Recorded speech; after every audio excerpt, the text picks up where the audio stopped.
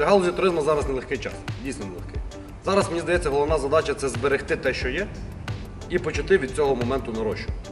Тому що як ніяк галузь туризму потерпає від коронавірусу найбільше.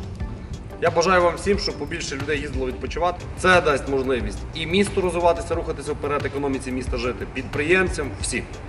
Вам бажаю побільше клієнтів, побільше туристів, побільше екскурсій, побільше автобусів, щоб бізнес від цього моменту, мені здається, найважчий момент ми вже пройшли, щоб від цього тільки йшов вгору.